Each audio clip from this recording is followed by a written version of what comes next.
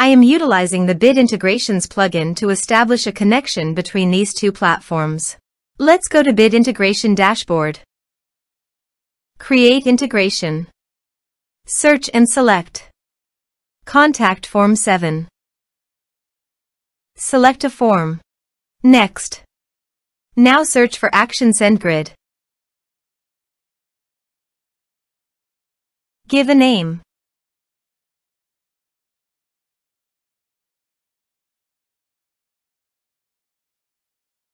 For API key please click on SendGrid API token.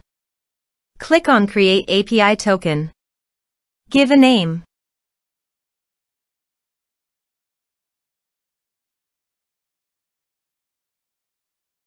Now click on Create and View.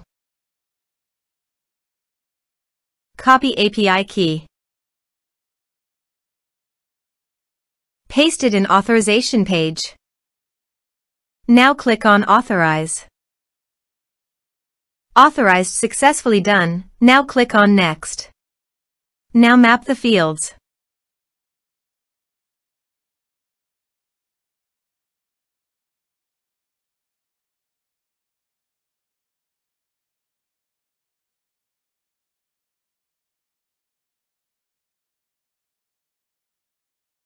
Here you can see Advance Action, you can use it as per your requirement.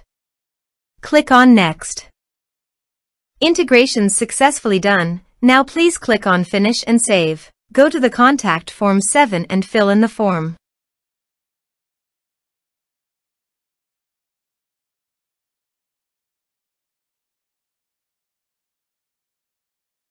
Submit it. Form submitted successfully. Now go to SendGrid dashboard and click on Marketing. Then click on Contacts.